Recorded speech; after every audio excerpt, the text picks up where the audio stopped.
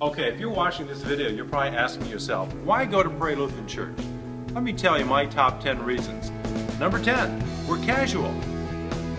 Number 9, we're relevant. Number 8, it's inspiring. Number 7, kids are welcome. Number 6, men make a difference. Number 5, women are engaged. Number 4, youth rock. Number 3, lives are changed. Number two, Jesus is alive. And number one, you are loved.